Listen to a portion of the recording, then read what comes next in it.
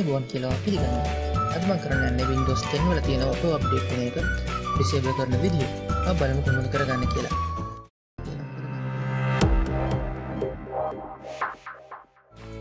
මුලින්ම සර්ච් බාරගේ සර්ච් කරන්න කන්ට්‍රෝල් පැනල් කියලා. ඊට පස්සේ ඔයාලට මේ විදිහට කන්ට්‍රෝල් පැනල් එක එනවා. ඔයාලට ක්ලික් කරලා කන්ට්‍රෝල් පැනල් එකට ගිහිල්ලා ඒකේ view mode එක ඔයා e කැටගරි තියෙන එක large icon වලට මාරු කරගන්න. ඊට පස්සේ ඔයාලට මේ විදිහට administrative tools කියන එක මුලින්ම එනවා. ඒක ක්ලික් කරන්න. ඊට පස්සේ ඔයාලට එන window එකේ තියෙන services කියලා ඒ services කියන double click කරන්න.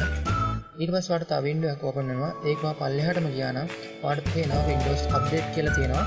ඒක ඔයා double click කරන්න. එතකොට ඔයාලට එනවා මේ වගේ පොඩි window එකක්. ඒකේ තියෙනවා startup type කියන එක. එතනින් ඔයා select කරන්න disable කියන එක. මෙතින් තමයි Windows Auto Update වෙන එකට නවත්තන්න තියෙන්නේ. ඔයා disable කරලා OK කරන්න. එතකොට ඔයාගේ Windows Auto Update වෙන එක නවතිනවා. ඔයා මේ වීඩියෝ එක කැමති නම් like කරන්න, share කරන්න, comment කරන්න. ආ වීඩියෝ එක හමුවෙත් ඔබට සුබ දවසක්.